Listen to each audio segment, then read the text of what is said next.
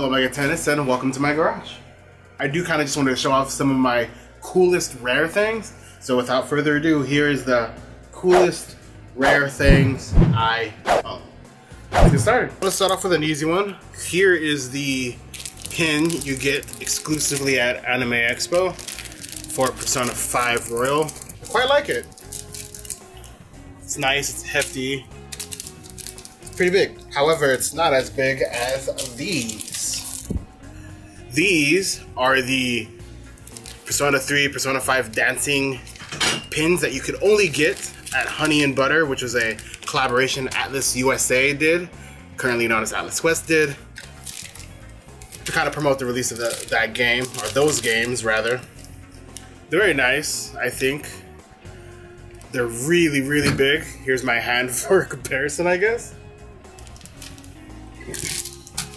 And as you can see, Atlus loves big pins. So I love Digital Devil Saga. In Japan, what they did was you can actually get this as a bonus. This is a, I don't know what they call these, weird glass sculpture thing. This one has Gabriel.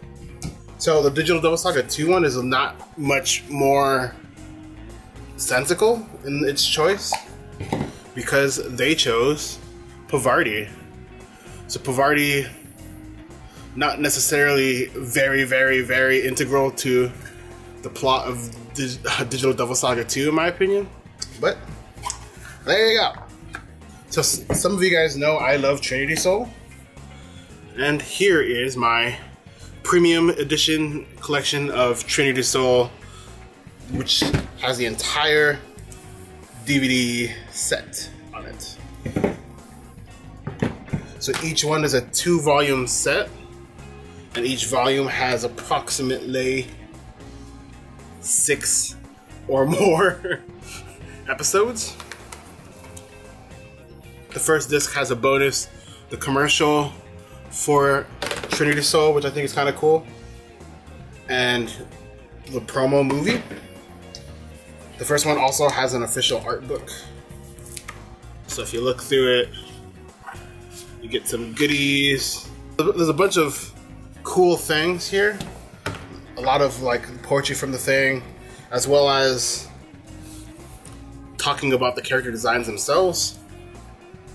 As those, those of you who know, who follow me might know, this was all designed by Soejima. So final two set thingy. The bonus is a perfect guide, which don't really know what they mean. Here is a whale's feather, which is that book that's integral to the plot of the, the movie or the show. And I really like this art a lot. Half of it is that, and the other half is more art book. I've shown this in my Jack Frost video, but this is my favorite Jack Frost plush. It's the Mochibi. You can't get it anymore, but you were originally able to get it at Anime Expo exclusively at the Atlus booth. Squishy. It's cute. It's got a really big tail. So next up are a set of four masks.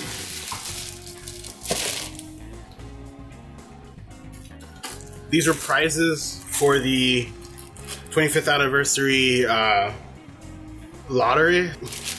You got this loser here, Krishna, Akarabi Habi, or whatever his name is.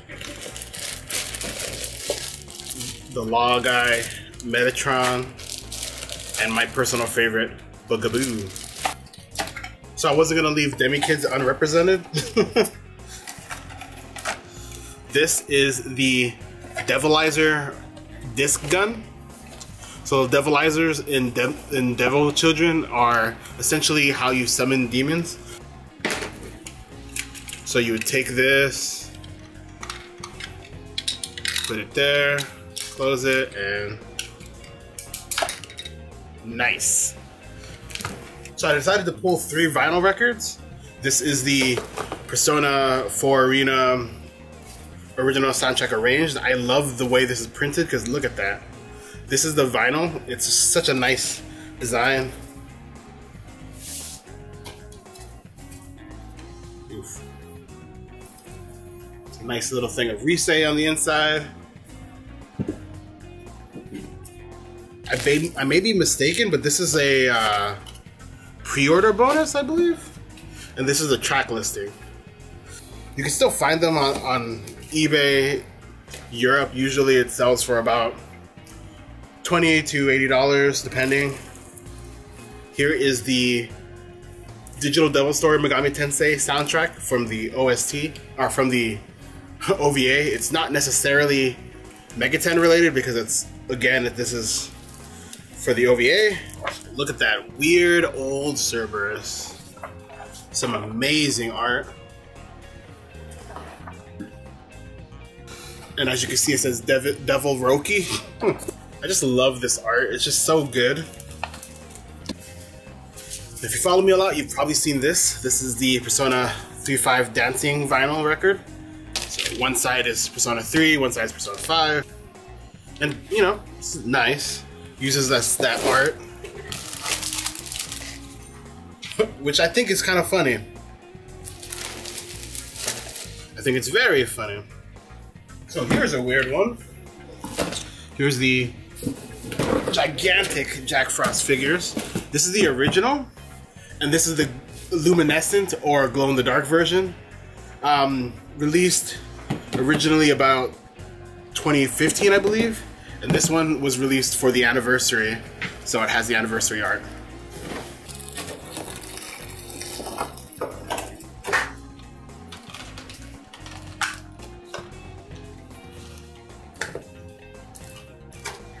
So as you can see, they're they're printed nearly identically, but you, you can actually kind of see here, for me, there's a little bit of where the spray for the blue was um, kind of went over here. it's, it's, in a lot of other places too. I like I, I kind of prefer this one over this one. There's a lot of paint imperfections on mine. They both stand.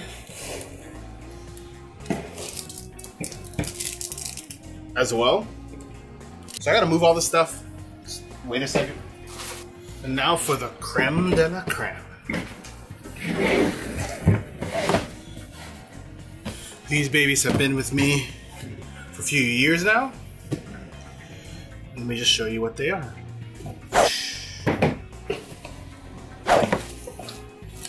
So these here are the anniversary wine. So one of the weirdest things that they did to celebrate the anniversary was release limited limited made to order sets of wine. So as you can see, it's one of those put together pieces where it's a bunch of different art. And this is the cap.